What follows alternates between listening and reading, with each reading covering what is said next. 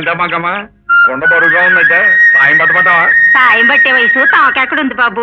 తాది ఇప్పుడు పట్టు తప్పే వయసు కదా. ఎంత డబ్బు కొట్టావా? ఇంకా నయ్యం చెంప పగలగొట్టలేదు. ఈ నారాయణమూర్తి అంటే ఎవరుకున్నావు ఈ చుట్టుపక్కల నాలుగు పరగణాలకి నవమన్మధులు అంటూడని పేరు. అదేం కాదు పసలేని నస నారాయణ అని పేరు. ఏంటి పసలేదా? ఆ. ఇప్పటికీ నా కాడి పైకెత్తుకుని ముళ్ళు పుచ్చుకున్నానంటే చేయనంత బురద బురద అవ్వాల్సిందే. అంత సీన్ లేదు గాని పదమాయ పద పద. రాజ్యం రాత్రి కూడా మీ ఆయన తాగొచ్చి ఏమీ చేయకుండా పడుతున్నాడా అవును బాబు గారు ఆ సచ్చినోడు తాగుడు మనమంటే మానలేదండి. తమరికి ఎట్లా తెలుసండి? రాత్రి కూడా ఆడి నిన్ను ఫస్ట్ పడుకోబెట్టాడన్న కోపం నువ్వు ఆ కొబ్బరికాయల మీద చూస్తుంటే తెలియట్లేదంటే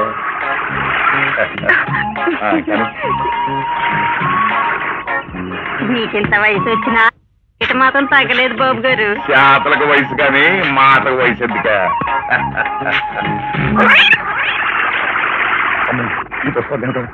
తొందర పరిగెనండి కానీ రే ఆ కాయలకి డెబ్బై డెబ్బై ఐదు. ఏమండి. డెబ్బై తర్వాత డెబ్బై ఐదు కాదండి డెబ్బై ఒకటి. నిన్ను చూసిన కంగారులో లెక్క తప్పిపోయింది. లెక్క బొండాలే పెడుతున్నారా?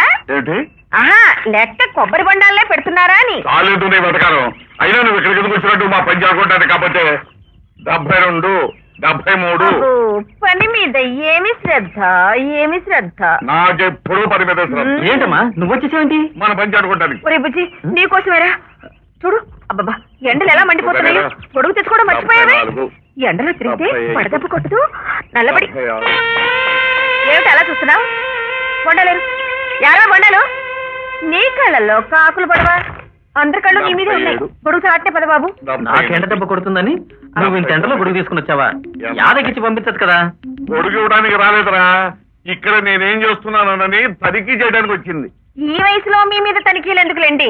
నా కొడుకు కోసమే వచ్చాను. పద బాబు బొచ్చొద్దు కానీ. పర్వాలేదంటావా పిన్ని? కంగారు పడకమ్మా. ఆ టైంకా జరగాలని రాసి పెట్టుంది జరిగింది.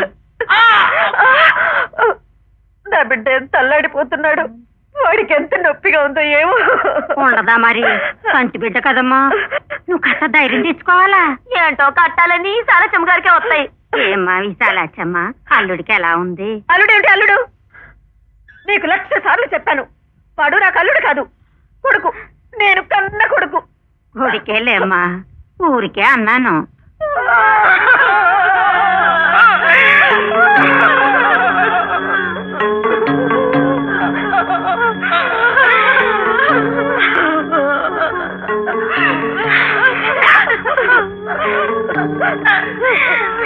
ఏమండి? ఏమిటి? ఏం జరిగింది? మన అబ్బాయి కాల్లో రేగుముళ్ళు విరిగిందండి! జరగకూడదు ఏదో జరిగిపోయిందని గుండెలు పగిలిపోయాయి. వారిని ఏమో ఏదో పెద్ద సురం దిగబడినట్టుగా ఏమిటి హడావడం తాను?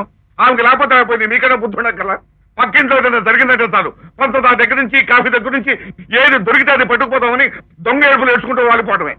పోయి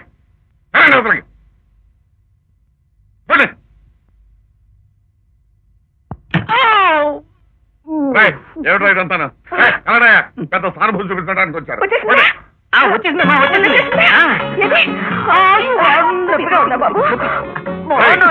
మీ అమ్మకి ఎలాగో బుద్ధి లేదు. నీకు కూడా బుద్ధి లేదు ఏమిట్రా? ఇంత ముల్లీరు కింద పెద్ద హడావుడి చేస్తున్నారు. అది కాదు మావయ్య. అభిమానం పంచడం అమ్మకి ఇష్టం. దాని అందుకోవడం నాకు ఆనందం. ఆహా మరి ఇంకే? ఇప్పుడు బాగా ముల్లీరికి బాధపడ్డాడుగా అభిమానంతో కాఫీ పెట్టరా అభిమానంతో తాగుతాడు. చాలండి చమ్మడం కాఫీ ఏమిటి? పాయసమే తీసుకొస్తాను. మంచమ్మ.